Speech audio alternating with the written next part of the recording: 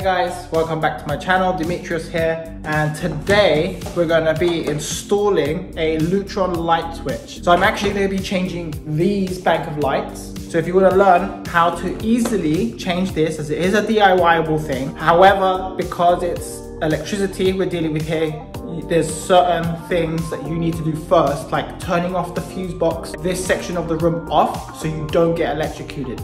If you're not comfortable doing any electrical work, like changing a light switch, then I strongly suggest to hire a licensed electrician because if you uh, you can void your insurance, cause damage, cause other problems, etc. But these are fairly easy. I've already changed three light switches in here. How many? One, two, three, four. I've done four light switches already in here, so it is doable. So this is gonna be a video to show you how. So you're gonna need a few things. Okay, so one of the first things you'll need is not a light stand, but you're gonna need a light of some sort that isn't powered by electricity on the plug. You're gonna need a battery bank for that. So this one's USB powered. I'm gonna show you the battery bank I'm using.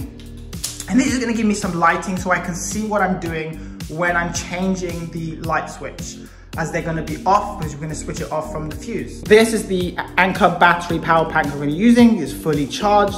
This will give me more than enough power. Use the light ring on my light stand where I can, actually it's two in one. I can film and have provide light at the same time so you guys can see. You need a screwdriver, that's the next thing. So this one obviously has many bits on it.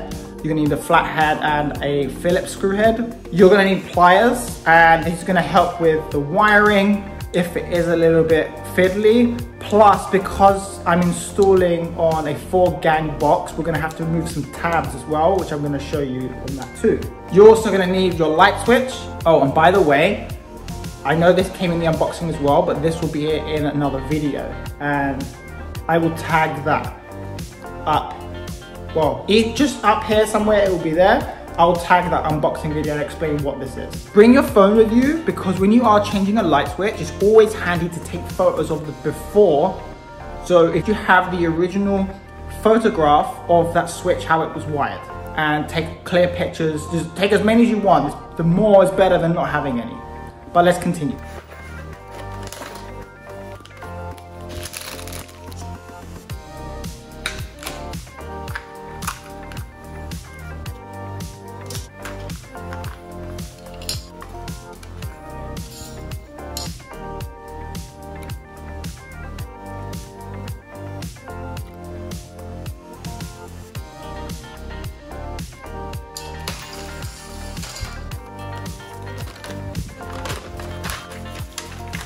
Okay, first step is locate your fuse box. You should know where it is. And now, your electrician should have labeled all the fuses and what they activate, whether which room it is, whether it's plugged, whether it's light, whatever it may be. So I'm just gonna locate kitchen. Let's have a look here. Oh, here we go. It's right in front of me, kitchen light. So if I do this now, that just turns off all my kitchen lights. So as you can see, I've all the kitchen lights are off. And a way to test it to make sure it's off is just play with the lights. If there's no action, you know electricity's off. So these are the light switches. So this is the actual light we're changing. Nothing, nothing, nothing. So we're good here, we're safe.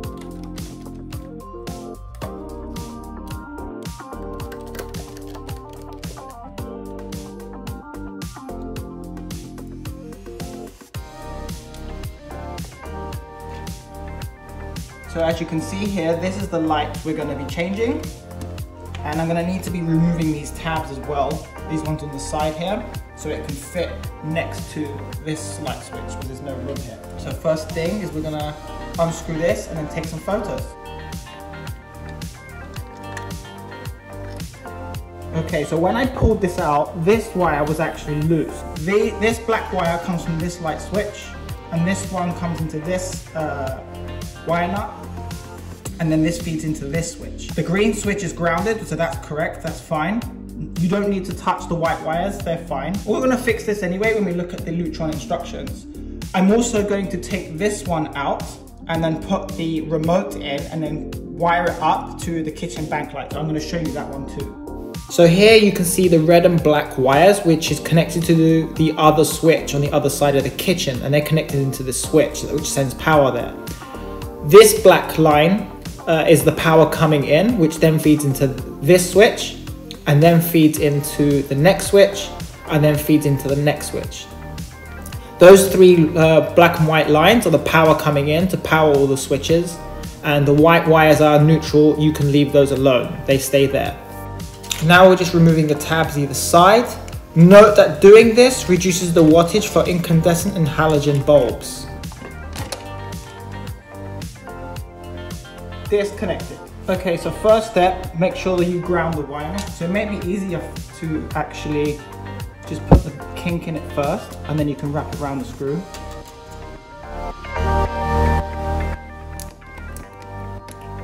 Now Lutron says these are both black wires, so you can connect either one.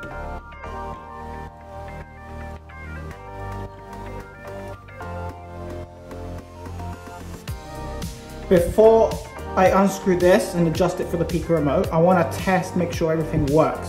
So I'm just going to leave it hanging out for now and I'm just going to put the fuse back on and all the lights should work. As you can see, there's power here, no problem. And so now I'm going to work on the Pico remote. So with the Pico remote, this, there's not gonna be a switch here, it's just gonna be a remote, but you still need power. But I've taken a picture and we'll go from there. Okay, sorry about guys. I had to go off camera for a bit because this was getting very frustrating because the switch in the middle was in the way. As this is a three-way switch, I have to send power to the other side of the kitchen. So the red wire is connected to the two black wires where the power is coming from. And then the third black wire is just capped off for safety. You don't need to do anything with it, as per the Lutron instructions. And I just checked by switching the light back on. We're all good, everything works and connected. So now it's gonna shove this all back in the box, put in the Pico remote here, and then we should have everything working.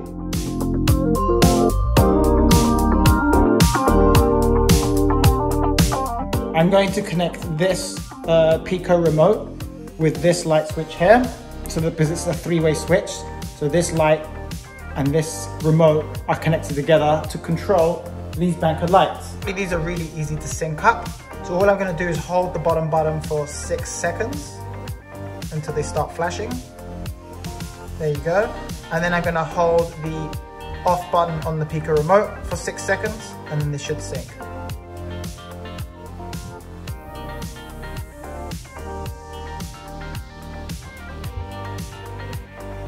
So they are synced. Now I can put this into the wall.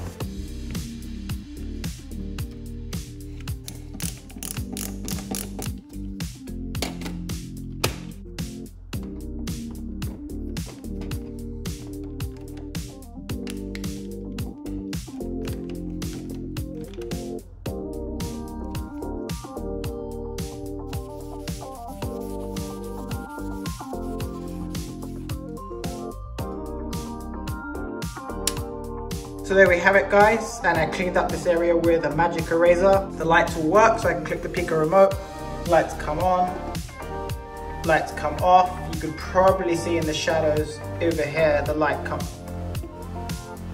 So it's all connected now. Now we need to add this to HomeKit, so that's what we're gonna do next. And just as an FYI, if you're going to be adding Lutron switches to HomeKit, you're gonna need the Lutron hub here and the Lutron app but you only need it for the installation, then you can just hide it in your app drawer. and You don't really need to use it. You use solely the uh, Home app. So I'm recording off my iPad right now, and I'm screen recording on my iPhone. So I'm gonna show you how to add this light to HomeKit. So I'm gonna scroll down, type in Lutron, and as you can see, this is everything that's connected so far. We need to go into add a few more devices. Add, add a device, and it's just searching, there we go. So we want to first of all add the light switch. I think that's going to be the first thing to do. Uh, so we'll switch a dimmer and then it says press and hold the LED button for uh, 10 seconds. And as you can see, it's now found it. So where are we going to locate this? So this is obviously in the kitchen. Click next. Uh, then you select the type of light it is. So I'm just going to put in ceiling lights, main, click next.